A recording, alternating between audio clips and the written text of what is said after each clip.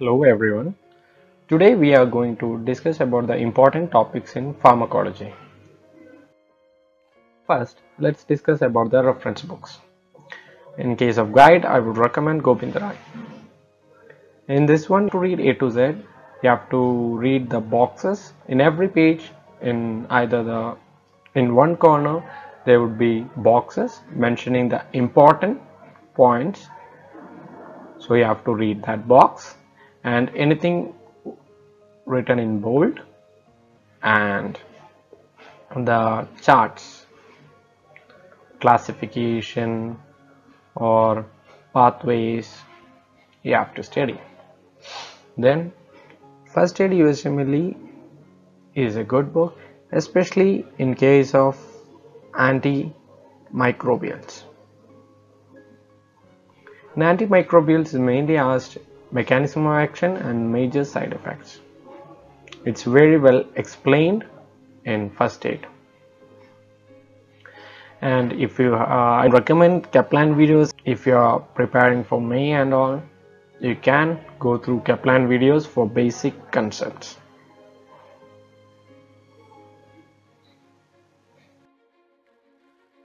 Now, coming to general pharmacology, the important topics are enzyme kinetics, some calculations are there, and some topics like clinical trial, drug schedule. Let's approach one by one. Enzyme kinetics. In enzyme kinetics, there are a lot of charts, competitive inhibition, non-competitive inhibition, effect of inducers, inhibitors. So you have to be thorough with examples.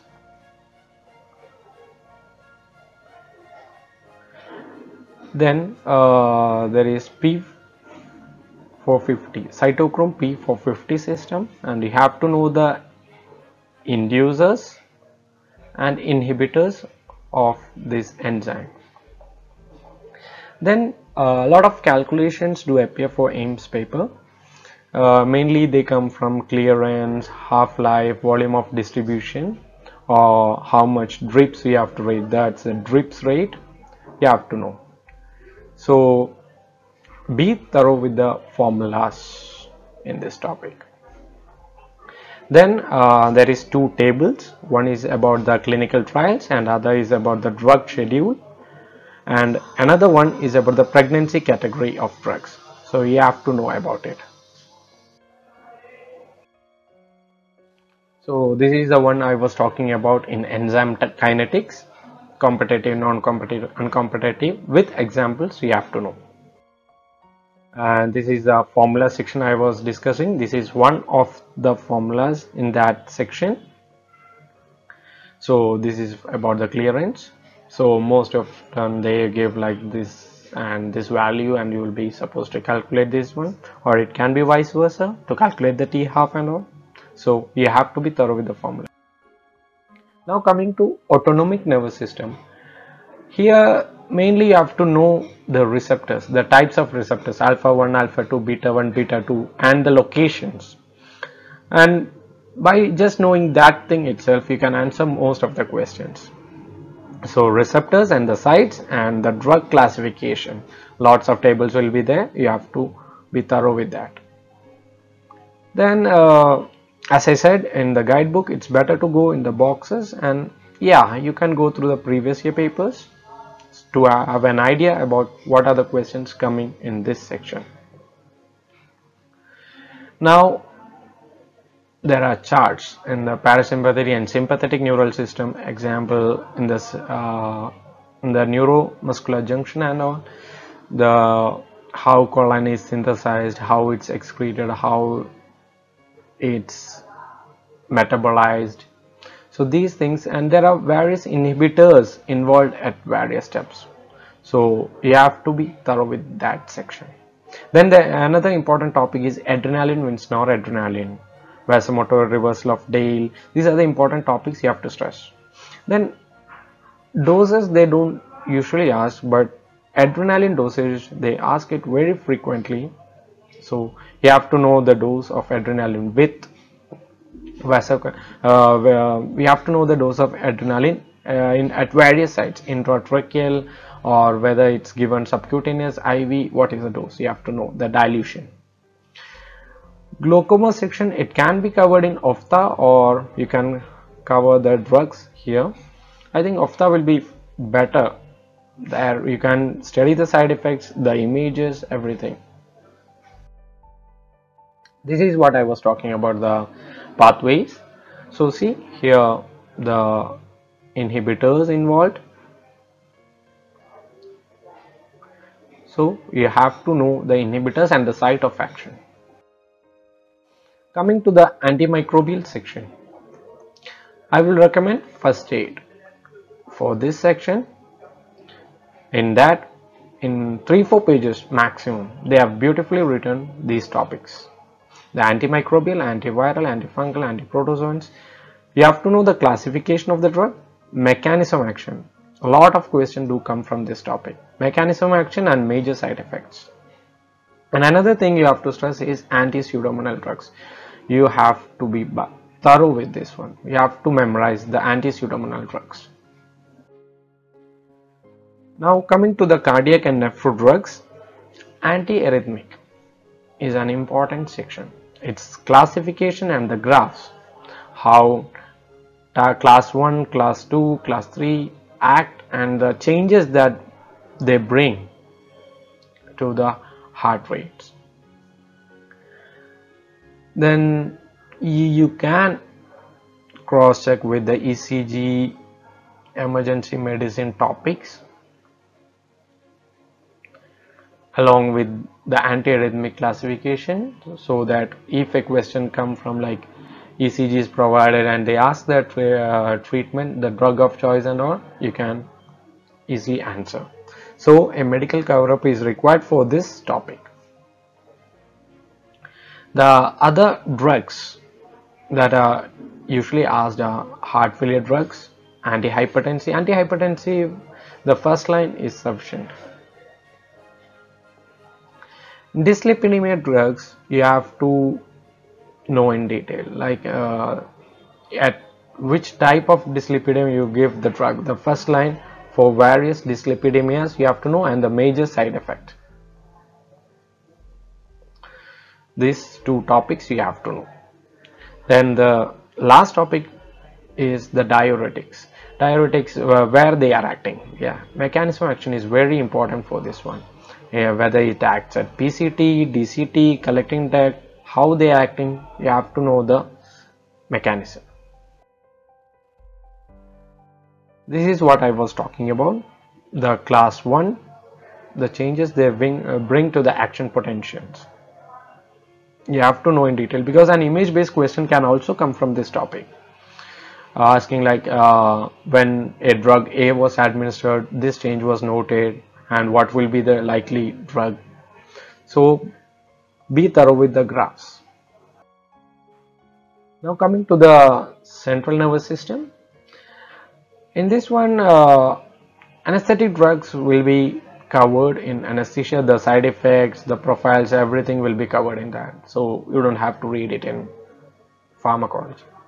In pharmacology what is important is anti-epileptics the first line in case of partial seizure complete seizure absent seizure you have to know the first line drugs then like uh, autonomic nervous system there is a GABA cycle here also and various inhibitors and various drugs acting on this cycle you have to know then coming to anti-Parkinsonism drugs, there also mechanism action chart. The sites where they act on you have to know. Side effects are also important but mechanism of action is the most important point in anti-Parkinsonian drugs. Then there are some other drugs which you have to know in depth. That is lithium, TCA, SSRI and opioids. In opioids they ask the agonist, antagonist and the difference between naloxone and naltrexone you have to know. This is very important okay you most of the people uh, leave it out but opioids, agonist, antagonist you have to know the examples. And SSRI, TCA you have to know the difference and lithium including dose you have to know. So this is what I was talking about. This is the GABA cycle the various drugs acting at various points an image based question can come from this topic. Coming to endocrine, uh, here mainly you have to deal with the diabetic drugs so you have to know various hyperglycemic anti-hyperglycemic drugs the classification and the major side effects is you don't have to go in detail. And insulin analog is another hot topic. They are t halves. You have to know in detail. In corticosteroid classes uh, there are steroids which have just mineralocorticoid action. There are steroids which have both mineralocorticoid and sex corticoid actions. So you have to be thorough with those topics. Now coming to antithyroid drugs there is nothing much in that topic. Just read about methimazole propylthiouracil that's it. You don't have that is not a hot topic actually. This diabetic anti-diabetic drugs that is a major topic in endocrine. Then coming to osteoporosis treatment just read about it that's it you should have a superficial idea. Then in reproductive section there are a lot of novel drugs. And they are frequently asked in AIIMS so we have to be thorough with the new drugs in the reproductive section. Now coming to the miscellaneous topics. First one is the antihistaminic the major classification you have to know and the various indications you have to know. Then migraine is an important topic. You have to know the drugs used in the treatment of migraine. It is also covered in neurology section in medicine. Then cox pathway drug this is also a hot topic so the mechanism of action the NSAIDs you have to be thorough with this topic. Uh, I think a pathway an image is also there uh, coming in the next slide I guess. So you have to be thorough with that image also. Then these two topics are there but just read. That's it. Just have an idea about it nothing much to do with it. Yeah this was what I was talking about these are steroids, Zileuton, Montelukast, Zafirlukast acting at various points. You have to know this pathway. Then the next set of miscellaneous topics are the neoplastic drugs. There are a lot of drugs in that so you don't have to read each and every neoplastic drug. Just in general medicine you would have studied some drugs as a part of the treatment. So just the known drugs just read about those drugs only. The side effects and mechanism of action. Major side effects and mechanism of action. These two topics of known neoplastic drugs. Don't go in detail. There is list of hundreds of neoplastic drugs and you can never memorize it. So don't go behind it. And coming to immunomodulators also uh, it's better like you go to the previous year questions or in classes. Whatever the immunomodulators they mention just study that only. Because there is hundreds of immunomodulators and you can never ever study it. So for these two drugs I will recommend like you make a list of your own neoplastic drugs immunomodulators and important new drugs. Important new drugs also. Even in new even in Gobinda Rai when you check in the last chapter or something they have given like 100 new drugs. You can never ever study that. Even if you allot the whole day you can never study it and memorize it. You will just get confused. So I would recommend for these three only read about the known drugs either from the previous year papers or from class notes wherever they mention you will be also attending grant test and all. So if a if a new drug is mentioned in the grant test okay. From these three checklist if you find a new drug or an immunomodulator or a neoplastic drug just make a list of it. Add to that list. Keep on adding and you will at the end you will have the major drugs in this category and with mechanism of action and major side effects so just read that list at the end before you go for the exam. This was the immunomodulator pathway which I was talking about. In pharmacology there are a lot of pathways like this as I said in antimicrobials there is pathway in GABA pathway is there in CNS and in COX pathway also there is and here also immunomodulators. So be thorough with each and every pathways. The question comes from this only. So this was the list which I was talking about. Nehamat. When I was preparing, I used to make this list and it will look somewhat like this. Just the drug, how it acts and where it's used. Just write this one. Make a list like this for neoplastic, for immunomodulators and for new drugs. And it's important you make the section wise. Better for revision purpose. Hemat cns you make section wise it will be better. And the another topic is images. Images the pathways they can ask calculation they can ask. The another topic they ask is the from the side effects. Phenytoin if how does the image look like or from warfarin control dysplasia how does it look like? They can ask question from the major side effects. So whenever you are reading major side effects of any drugs just go through the images. If you are if the book doesn't provide it just google it and download it and make a folder so if you do all these things you can score pharmacology almost like 70 80 percent no one can score 100 percent obviously your target should be 70 to 80 percentage Thank you.